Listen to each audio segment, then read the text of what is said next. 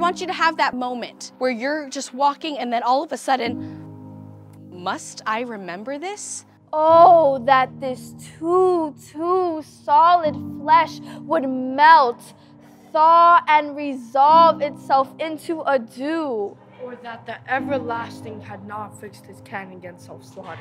Frailty, thy name is woman. We have another depth to that. You're trying to say, hey, we're better than that. We need to get through this, right? For the world to know that brown and black kids can do this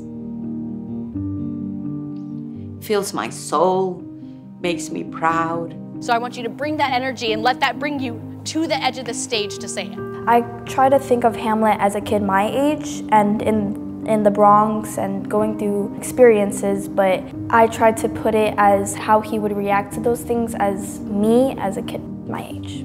Everything about Shakespeare is the various and sundry difficulties of life, and if you can kid, teach kids how to navigate that, you've accomplished a lot. Having a Shakespeare program at HPAC has been important for years.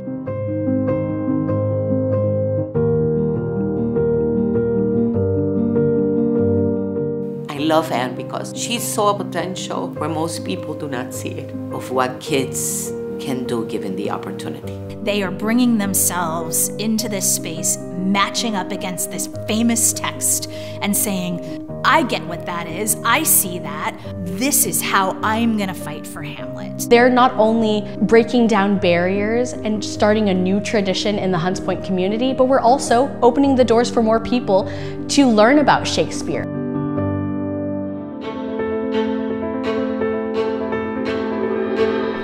Theater, it's an institution in American theater, especially in New York theater, and something that has always been at the heart of the public theater is creating theater for all and making sure that all New Yorkers have access to theater. The amount of resources and money that gets poured into this production, when the set gets built and these kids see the set, when they see their costumes, when they see that the public theater that has poured money into huge New York staples, Shakespeare in the Park, is pouring their resources on the production that these kids are doing that shows them that they have a tremendous amount of worth. All of the artists that collaborate from the public theater, from the teaching artists to the designers, are there to be behind the kids and make sure that they can shine. Giving these children a chance to work on something in depth and step away with an incredible sense of accomplishment, that's the HPAC Scholar. The word scholars means people who are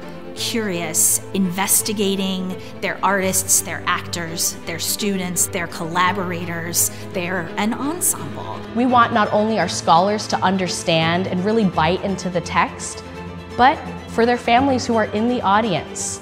We want them to understand it just as much as those scholars. I want them to be able to understand the story and understand how all of the characters are feeling. I hope people see their son or daughter, their child has grown, or the kid they've known get up and speak in public. People who don't know the scholars personally can see the passion and the expression that they're bringing. I think they're going to see an incredible amount of talent, thoughtfulness, certainly going to be one of the most unique productions of Hamlet they'll ever have a chance to see. When people come see our production, I hope that they leave with that sense of inspiration that I feel coming to work every day. I hope that I can express myself and Hamlet through my lines and my actions so that everybody understands the type of person that Hamlet really is. Shakespeare Ensemble!